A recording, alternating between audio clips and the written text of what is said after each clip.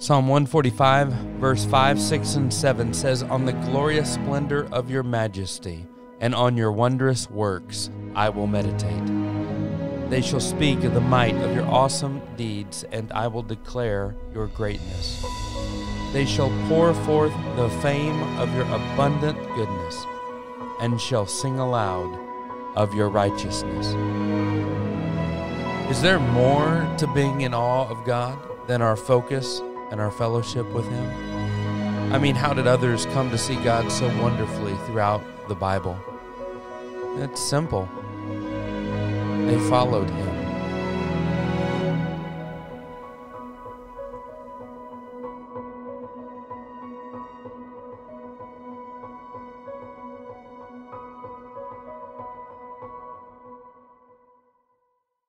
We are back to our Restored Wonders series. We're in John chapter 1.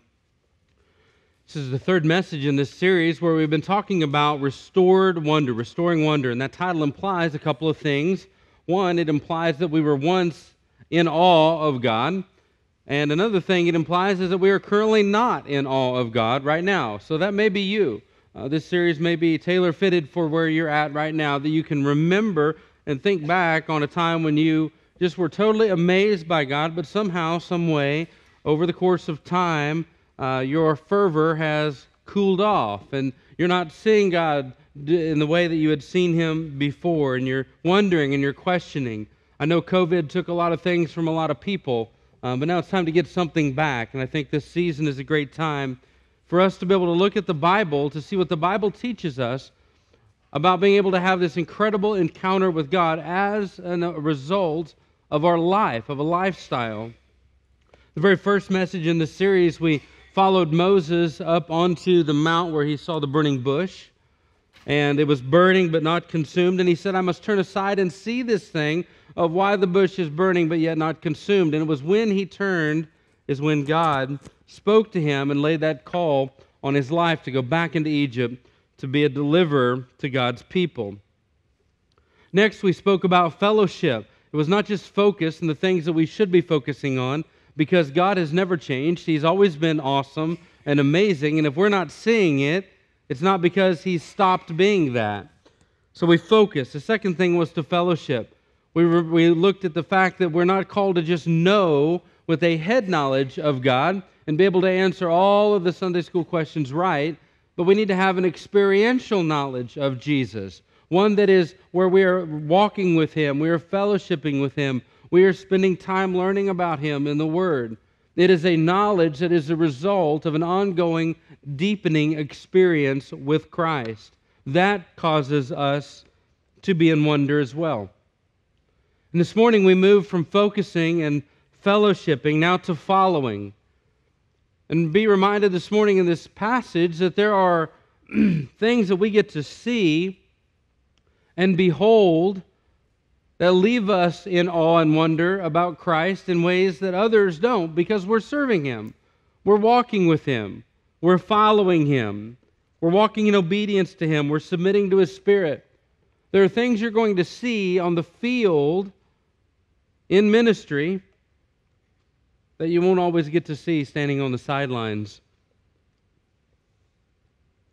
The Gospel of John, chapter 1, it's incredible, I think, that John begins this gospel much different than Matthew, Mark, and Luke.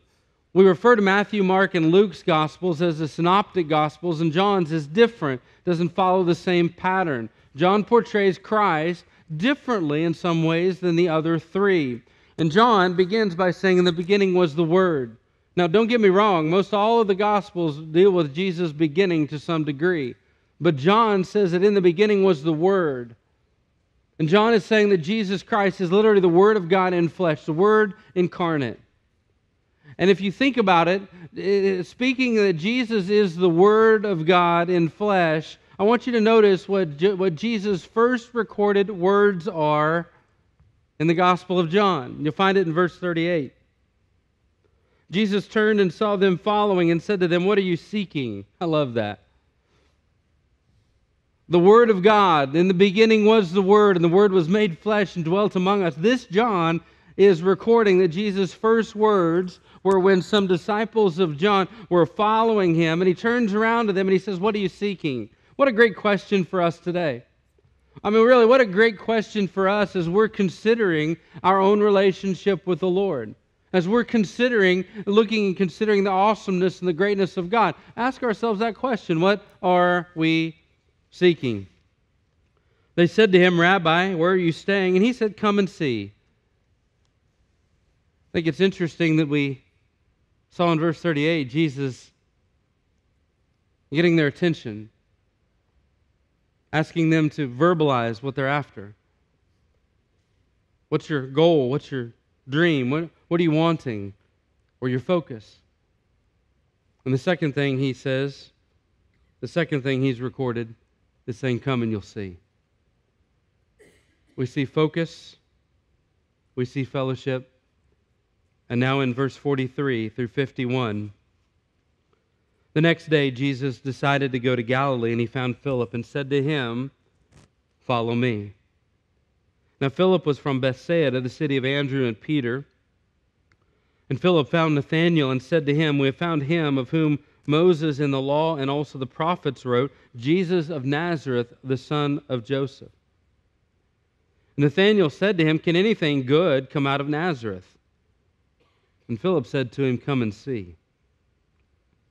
Jesus saw Nathanael coming toward him and said of him, Behold, an Israelite indeed, in whom there is no deceit. And Nathanael said to him, How do you know me?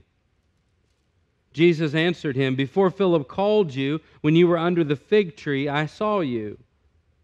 And Nathanael answered him, Rabbi, you are the Son of God. You are the King of Israel.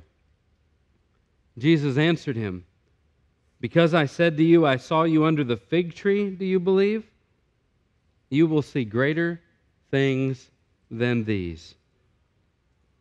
And he said to him, Truly, truly, I say to you, you will see heaven opened and the angels of God ascending and descending on the Son of Man.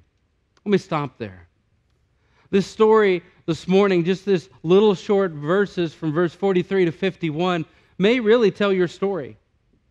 I mean, you may have, as you're thinking about your life in, in relationship to this verse, and you may be able to hit some of these high points. You may be able to say, you know what, someone who trusted Christ as their Savior came to me and invited me to come and see Jesus and be saved myself. Some of you may say it was an invitation to an impact weekend or an invitation to a mission trip or an invitation to church. Some of you may say it was just an invitation over to somebody's house who had a deep love for Jesus Christ. And from that, you were saved because you trusted him yourself.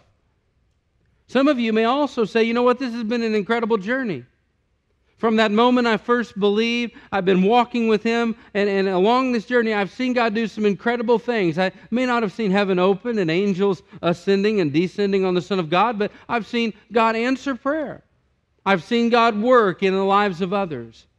I've seen God work in my own life. I've seen God work in me, through me, and for me. So some of you may be able to relate to this verse, this story. Some of you may not. Some of you may not have ever had somebody who truly loved Jesus and was, was so excited about him, and they, as a result of that excitement, as a result of their own personal experience with Jesus, that they invited you to come and to meet him yourself. You may not have had anybody like that. You may not have had anybody that, that ever shared with you the way to know God through Jesus, the way to be saved. You may not have ever seen God do really incredible things and you may even be here this morning saying, you know what? I've heard about him doing great things. I've read about him doing great things in others, but I haven't really ever seen anything myself. That's maybe what you say.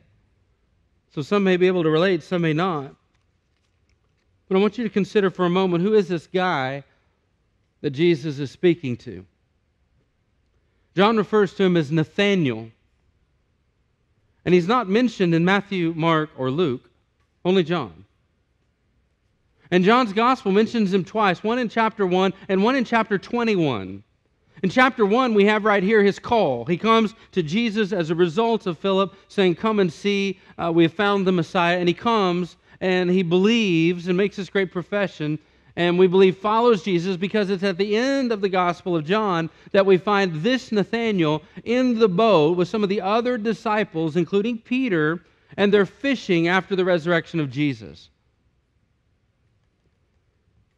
So we ask ourselves, and there's some question of is this Nathanael actually a disciple of Jesus? Is he indeed one of the twelve? And even though there, not everybody agrees on this, most, I think, would safely say that we believe this is one of the 12 disciples, that Nathanael was actually the disciple listed in Matthew, Mark, and Luke as Bartholomew for several reasons. One is in Matthew, Mark, and Luke in the Synoptic Gospels, when you find Bartholomew, he is attached closely in the list to Philip. We find here Philip is the one that brings Nathanael to Jesus. Secondly, we find this same Nathanael in John chapter 21 at the end of the story being with the 12, or some of the 12 that Jesus hand chose. And finally, the name Bartholomew actually means the son of Timaeus. And what that means is that he may have actually had another name besides the one that means I am the son of my father, Timaeus. I believe, and for the sake of this morning's message, with that evidence, with those thoughts in mind, I think it's safe for us to say that this Nathanael we see in John in chapter 1 and verse 21 is one that was handpicked by Jesus, who was also called Bartholomew. Why does all of this matter? Because this wasn't just a man he met on the road. This was a man that committed his life to following Jesus. Jesus wasn't a pastime, wasn't a hobby, for this guy. No, not at all. This was a guy who sold out his life for Jesus. Historical accounts of Bartholomew state that his martyrdom, we don't have any evidence of this in Scripture. But the best historical words that we get regarding how this Nathanael died was that he was skinned alive for his faith in Christ. This is not just somebody he met on the street. This isn't just somebody who made some kind of offhanded comment. This wasn't someone who got caught away with the words of his mouth and didn't have a life that followed. No, this was a guy that believed all the days of his life. I want you to see three things this morning. The first is this is that Nathanael was brought to Christ. Philip found Nathanael and said to him, We have found him of whom Moses in the law and also the prophets wrote, Jesus of Nazareth the son of Joseph. I guess you could say when I read that, I read that kind of boring. It wasn't intentional, that's just me. I wasn't doing it for effect. But I want you to consider something this morning. I want you to consider the message that Philip had. I want you to think for just a moment. I want you to take yourself out of 2021 and you will say, Amen.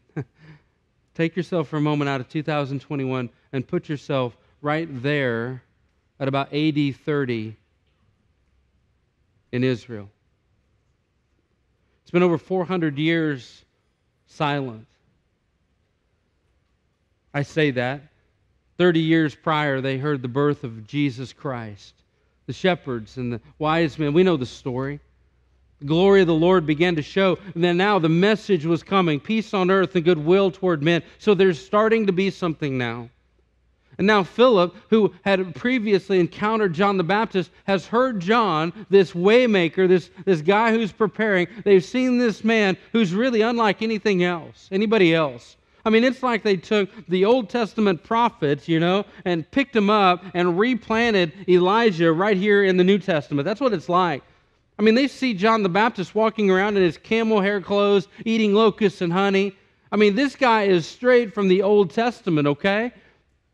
And he's the one who's preparing the way for the Messiah. So this is something new. I mean, this guy is drawing crowds. People are coming out. He's preaching with boldness against the religious leaders. He's seeing, he's baptizing people left and right. And all the while, he's seeing Jesus and he says, Behold, the Lamb of God who takes away the sins of the world. John was quick to point out that he was not the Messiah, but the Messiah was coming. So in Philip's time, they have been looking and waiting for the Messiah. They knew he was going to come, they didn't know when. And now they see John the Baptist who's preparing the way for the Messiah. They have John the Baptist on record saying, That's him right there. And Philip finds him. Guys, you, we can't really understand and wrap our mind around how big that news is. I mean, that is the biggest news that not just on a national level, that they have found the King of the Jews, they have found the Son of God. They found the one that Moses spoke of that was revealed in the law and the prophets. They found Isaiah's suffering servant. They found Jeremiah's weeping servant. They have found the one to which all of the other pictures were simply that. And Philip comes with an incredible excitement. I mean, in my mind, when I play this through, I see Philip shaken. I, I see him visibly distraught over this fact that he has just seen the Messiah. I mean, he has just found the one that was prophesied. He has found the Son of God. And I believe that excitement is radiating out of him. I imagine he's stuttering and he's trying to get the words to come out just right and he's bouncing and he's shaking and he comes to Nathanael and he says, Listen, we have found Jesus. We found him. And he, you know, Jesus, he's, he's the, the, Joseph's son, and he's from Nazareth. And Nathanael says, wait a minute, wait a minute. Can any good thing come out of Nazareth? I won't go into all the detail, but there was great prejudice here.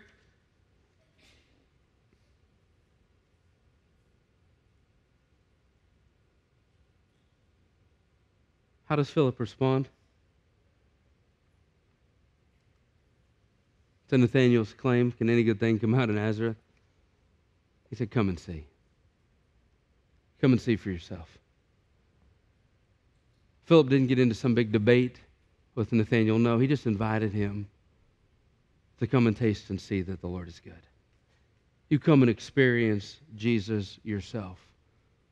Friends, I, don't, I hope we don't ever lose sight of this beautiful picture of someone who had a real encounter with Christ and went out and intentionally sought other people and invited them to come and experience Christ for themselves. Number one, Nathanael was brought to Christ. God used Philip to bring Nathanael to saving faith. Number two, Nathanael believed in Christ. It says in verse 47 when Nathanael, Nathanael saw, when Jesus saw Nathanael coming toward him, he said of him, Behold, an, an Israelite indeed, in whom there is no deceit. I love Nathanael's response. How do you know me?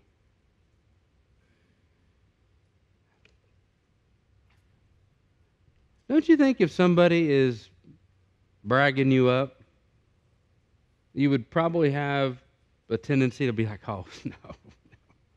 Wouldn't you? I would like to think we would. Someone's like, oh, this guy, he just never lies. Wouldn't you just down in your heart feel almost embarrassed by that? And you'd be like, stop. Not Nathanael. Jesus says, indeed, an Israelite in whom is no deceit. What's Nathanael say? Yeah, that's right. How did you know that, though? Guys, here's what I love about this. Jesus was able to read Nathanael's heart. Jesus knew things about Nathanael that nobody else knew. Jesus knew who that man was that was coming to him before he even got to him. Jesus' knowledge of Nathanael was not dependent on Nathanael releasing that information. Indeed, an Israelite in whom there is no deceit, who does not deceive, who is honest, who is a man of integrity, who seeks to do right. Now, I'm sure there were times in Nathanael's life, if I take this story, there were moments in Nathanael's life where he could have crossed the line. I'm sure there were moments in Nathanael's life where he could have deceived somebody to make himself appear better. There were moments, I'm sure, where his integrity was on the line and he did not yield to that temptation. And I'm sure he knew it was hard to hold on to that integrity. I'm sure he knew it was hard in all that was around him and all the opportunities to do what was right, but he knew in his heart, I'm going to be a man of integrity in my heart. And Jesus knew that. Jesus knew that there had to have been these battles. Jesus knew the content of his heart. And he says to him, Nathanael, I know who you are. You're a man that has a good heart. And then he says, How do you know me, Lord? Listen to what Jesus says now. Before that Peter called you, I saw you under the fig tree. Jesus is not just now telling Nathanael, I know who you are. He says, Nathanael, I know where you were. We can take from this, we can deduce from this story, because of Nathanael's response, that he is surprised that Jesus knew where he was. And we take from that to believe that Nathanael was intentionally in a place where he did not want to be seen. He probably went under the fig tree to get some quiet contemplation on the Word of God. Maybe he removed himself from everybody else and found that place under that fig tree to be just alone with God and to pray and to worship. Maybe, just maybe, based off of the, the signs given to us from this conversation, maybe Nathanael was under the tree reading Genesis 28, the account of Jacob and the ladder and the angels ascending and descending. We don't know. But we know that, that Nathanael was in a place where nobody else would have known. And Jesus says, Nathanael, I know you. I know who you are. And I know where you've been. What's Nathanael's response? Look at this, guys. Rabbi, you are the Son of God. You are the King of Israel. Let me just tell you that type of declaration does not come from men easily in the scriptures. Jesus asked his disciples, Who do men say that I, the Son of Man, am? Some say you're Elijah or one of the prophets. Who do you say that I am? We believe you're the Christ, the Son of the living God. Simon, son of Jonah, flesh and blood has not revealed this to you, but it's been revealed to you of my Father which is in heaven. And I will say that you are Peter, and on this rock I will build my church, and the gates of hell shall not prevail against it. Peter's great profession, announcing that on behalf of everybody else, came to Jesus, in which Jesus said, That was not the response of flesh and blood, that was the response of my Father in heaven telling you that. And here, Nathanael, in the beginning, all he knows about Jesus is that Philip believes that this is the Messiah. And now he comes, and Jesus says, I've read your mail, I know who you are, and I know where you were. And that's all it took for Nathanael to say, You are the Son of God. That's huge. It's enormous. Guys, let me tell you something. Never underestimate the power of Jesus to read your mail and the change that brings in your life. Never underestimate the power of the omniscience of God to change your life. Let me give you an example in just a few chapters from this story. Jesus is going to go through Samaria where no other Jewish leader would have gone. And he goes through Samaria, and about noon, he finds a woman coming out to the well to, to get some water, and he knows this woman. And in talking to her, he reveals to her that he is the Son of God or that he is the Messiah. And he says this He says, Go bring your husband. She says, Sir, I don't have a husband. And Jesus said, Ah, you got five husbands. That's Jesus reading mail, friends. You see, for Nathanael, here's a man with a true heart. For the Samaritan woman, this is a woman that's got some skeletons in her closet. Do you remember what that Samaritan woman said when she went back to her Samaria, her village? This outcast woman runs to that village and says this Come see a man that told me all things ever that I did. Is not this the Christ? Never underestimate the power of the fact that Jesus knows everything about me and you. Jesus dealt with this present. He was a man with no deceit in his heart. He dealt with his past. Nathanael, I know where you were. Aren't you glad that God doesn't have a problem getting past your past? And number three, he says this to Peter, to Nathanael.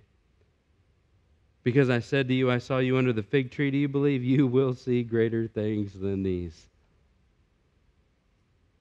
Jesus deals with all three different areas of time present, past, and future. Jesus is saying to Nathanael, You stick with me, you're going to see some incredible things.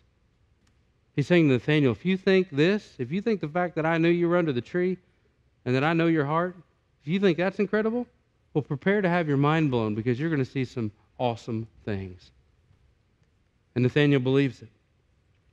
He said to him, Truly, truly, I say to you, you will see heaven open and the angels of God ascending and descending on the Son of Man. Now, we don't know what exactly he's speaking of. Is he speaking of some event that was to happen in Nathanael's far future, something on the eschatological timeline? Is he speaking about something in this new heaven and new earth? Is he speaking about when the angels came and ministered to Jesus in the Garden of Gethsemane? We know that there were very few, the innermost disciples were there that close. Is he speaking about the baptism of Jesus when the, when the glory of the Lord was open, the heavens, and the voice of the Father said, This is my beloved Son in whom I'm well pleased, and the, the Spirit of God descended on Jesus? What are we talking about? We don't know. But we know that when Jesus said it, he attached a verily, verily to it, only found in John's Gospel. 27 times he uses verily, verily, or truly, truly, or amen and amen. And Jesus says, I'm telling you the truth.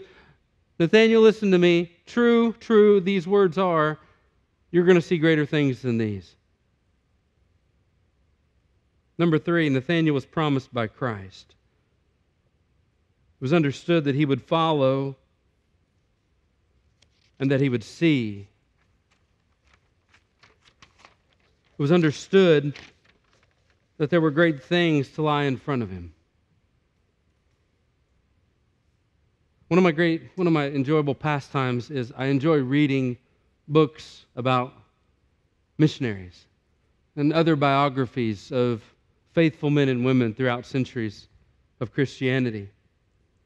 And I especially love reading mostly pioneer missionaries because I love the challenges that they faced on the field of ministry. And I love to see how God oftentimes would provide special strength for them, special focus and how God would use them and, and, and bring them to a level of commitment that even not seeing great results, they would continue to be faithful and steadfast. I love those kind of stories. I'm, I'm currently reading a book by missionary Amy Carmichael, who, who ministered in India, actually southern India. And, and she was alone originally. She went by her, she went by herself. She wasn't married. But the book is called Things as They Are.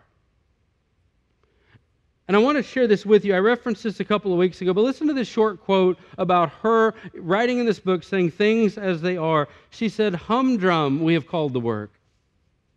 And humdrum it is. There's nothing romantic about potters except in poetry, nor is there much romance about missions except on platforms and in books. Yet, though it's dull at whiles, there is joy in the doing of it. There is joy in just obeying. He said, Go tell, and we are, have come and we are telling, and we meet him as we go and tell. Let me repeat that last part. And we meet him as we go and tell. You see, here's one of the great things, friends, is that these awesome things that God wants to do to leave us in awe, they're not just in the things that surround us. Please don't mistake that. God wants to work in us. He wants to transform us from the inside out. He wants to do a work right now as a result of the work of His Holy Spirit, utilizing the Word of God, sometimes utilizing the people of God. He wants to bring about transformation inside of us. He wants to change us, make us different. But He doesn't just want to work in us, He wants to work through us. He wants to use your life, much like He used Philip, to bring people to Him. He wants you and I to be the physical extension of His body to a lost and dying world. God wants to work in us, through us, and for us. We know that all things work together for the good to those who love God and are the called according to his purpose. Romans 8:28. We often think that I'm going to see God do these great things by working for me, answering prayer, and that may be, but that's not always the case. But God does want to work through you and in you. Our future is largely dependent on our present. Who I'm going to be in five years is largely dependent on who I am now and the decisions I make. I told my kids the other night, I said, you know what? Truly, my life wouldn't be anything without Jesus. It was a decision I made, oh my, a long time ago, to go to church with my friends. It was a decision I made to rededicate my life to Christ as a result of the Spirit's working on my life. It was a decision I made to go to the Baptist Student Union that night where I would later meet my wife. And from meeting my wife, who has been one of the greatest decisions in my life outside of Christ, as a result of meeting my wife, I have three kids. Let me tell you something, guys. I am who I am because of Christ. I've seen the things I've seen because of Christ. And there are things that you and I will never get to see sitting on the sidelines. How do I know that? Because I've been on the sidelines. There are things that you and I get to see when we step out, when we take God for real. When we say, God, what does your word say? I want to do your word. Hebrews chapter 11, the, the, the, chapter of faith, says, Without faith it is impossible to please God. For those that come to him must believe that he is and that he's a rewarder of those who diligently seek him. It's, it's, faith is a necessary ingredient for me to see Christ do something, but it's also a necessary ingredient for me to see what Christ has done. One of the greatest miracles in all the Bible, outside of the resurrection of Jesus, is when Joshua is fighting the five kings of the Amorites. And I want to end with this. The five kings of the Amorites and their armies are starting to get away. And Joshua says something. It's one of the most incredible prayers, I believe, in all of Scripture that Joshua turns in front of all Israel and says, Sun, hold your spot, and moon, freeze over the valley of Ajalon. Now, guys, that's huge. Sun, hold still. Moon, freeze right where you are. Why? Because we need more light, right? These guys are starting to run away, and we want to wipe them out before it gets dark so they don't go to their villages. So he stands in front of everybody and says to God, God, caused the sun to hold still, and moon, God caused the moon to freeze, and it does. Now we know, I know some of you astrophysicists are going to tell me they don't really move. It's us that moves, but play along.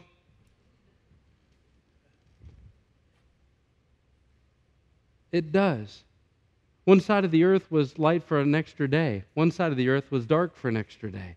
That decision, that prayer, that miracle affected the whole world. But do you know what happened before that? as Joshua was fighting the five kings of the Amorites and their armies, they're starting to get away. Do you know what happens? Before he says, Sun, stand still, moon, hold your place, Joshua sees God throw down firing hailstones from heaven. Think about that for a minute. You're fighting these enemies, they're starting to get away, and all of a sudden, you start to see fiery hailstones fall from heaven and wipe out some of the enemies. In fact, the scripture says God killed more with his snowballs than Joshua did with the sword. Even though everybody in the world got to experience the miracle of the sun standing still and the moon holding its place, not everybody got to see God throw down those fiery snowballs. That was only for the ones that were on the field of battle. It was only for the ones that had gotten out of the stands and come down and joined the fight. Friends, how do we see God? How can we have our wonder restored once again? To remember that He never changed. We have. And we need to realign our focus. We need to get back serious about fellowship with Him, not just a head knowledge, but a personal, experiential, ongoing knowledge of Jesus and follow him. Follow him. What does that mean for you right now? What does follow Jesus mean? Does that mean to be saved? Maybe like Nathanael, you were invited here. You came here. Maybe you didn't even want to be here, but somebody invited you. And this morning you've heard of the greatness of Jesus. You've heard that you can have your sins forgiven. You've heard that this God who knows everything about you, loves you, died for you, and wants you to receive his free gift of salvation today. You can start that relationship new with him. You can have your sins forgiven. You can begin the first steps of following. Maybe you've never been baptized as a result of after your salvation and you are saying today i've never taken that first step of obedience and today is the day I'm following Jesus in baptism. Maybe it's a rededication. Maybe you know right now there are besetting sins. There are things that are wrapping you up, tying you up, and hindering you from being able to take one step after the other in following Jesus. Charles Spurgeon said, It is no credit of God to be praised by a man of no character. This morning, I want to ask you the God who knows your heart, what's He saying to your heart? What is He leading you to? Because I promise today, when you and I begin following Jesus, walking according to His Word, taking that step of faith, promise you, you are going to see God work in you,